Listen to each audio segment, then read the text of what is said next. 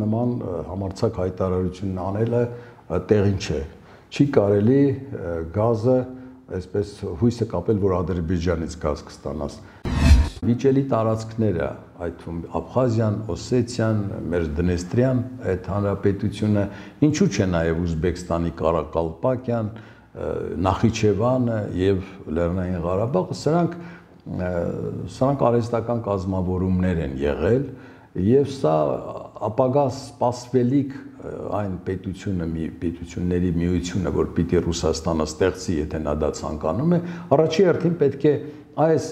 վիճելի տարածքները մտնեն այդ պետության մեջ։ Մեր ընդդիմադիրների կոնսոլիդացիան, որը չի կայանում,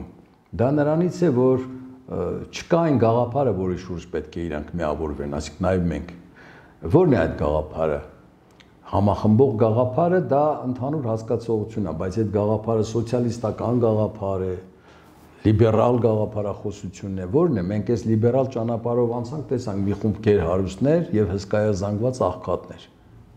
Այս գաղափարի շուրջը միավորվեն։ Ես կարծում եմ ոչ։ Միշտ գնացել ենք ընտրությունների չընտրելով ընտրություններ ենք արել Մերժել ենք կոմունիստներին, ընտրել ենք Լևոն Տեր-Պետրոսյանին։ Մերժել ենք Լևոն Տեր-Պետրոսյանին, ընտրել ենք, ասենք, այս Ղարաբաղյան ներկայացուցիչներին, որ նրանք Ղարաբաղի հարցում ավելի համարցակ եւ հարցակողական լինեին։ Բայց հետո էլ Ղարաբաղյան թևին են մերժել, ընտրել են այս իշխանություններին, որոնք եկել են այսինքն մերժելով են ընտրության գնացել, ոչ թե գնացել են ընտրելու համար, այլ գնացել են չընտրելու համար։ Արդյունքում ընտրվել է նա, ով որ ընտրվել է։ Հիմա այս հոգեբանությունն էլ ժողովուրդը դեռ չի կամ գուցե հասկացել է արդեն եւ ասում է, հա ընտրեցինք հետո։ Բայց չգնաց դեր կանգնես քո այն